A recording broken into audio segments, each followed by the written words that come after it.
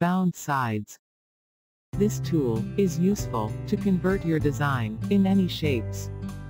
Here, we have two different designs, let's learn one by one. First design is, with embroidery stitches, and other one, is sequin design.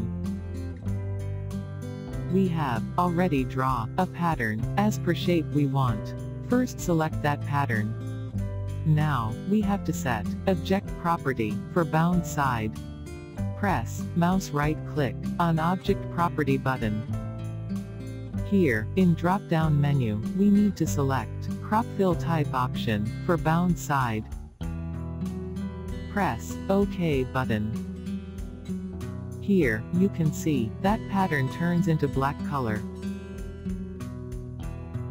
Now, select Design, and Pattern Object together, and make them all. Group, with Ctrl, plus, G.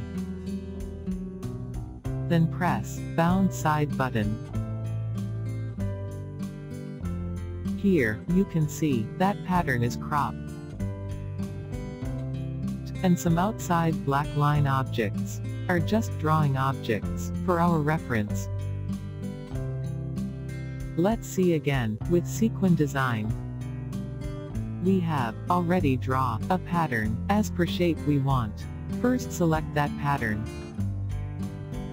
To open, object property parameters, you can use, shortcut key, Alt plus Enter.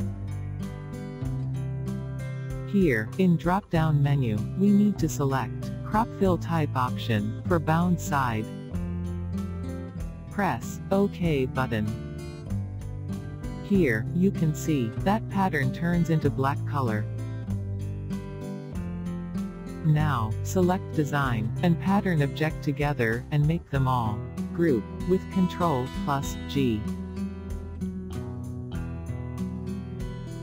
Then press, Bound Side button.